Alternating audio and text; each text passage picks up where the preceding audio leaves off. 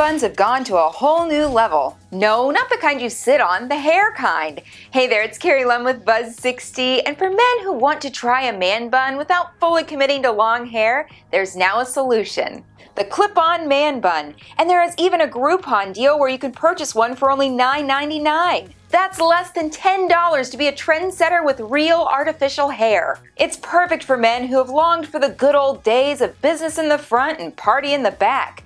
You now have a solution with the clip-on man bun. Sure, you could clip on long extensions for a mullet, but that's a lot of effort. Whereas the man bun is one simple piece to clip on. You like clip on ties? It's the same thing, only for your head. According to the advertisement, the purpose of this clip on man bun is so men can blend into their hipster surroundings or take it off when they want to hang out with their motorcycle gang. I would also add that these would be great to wear to Disney if a dude is jonesing to be included on the popular Instagram account Man Buns of Disneyland. Simply put, it's the perfect solution for the man who only wants to be a part time hipster. Buzz60, now you know, pass it on.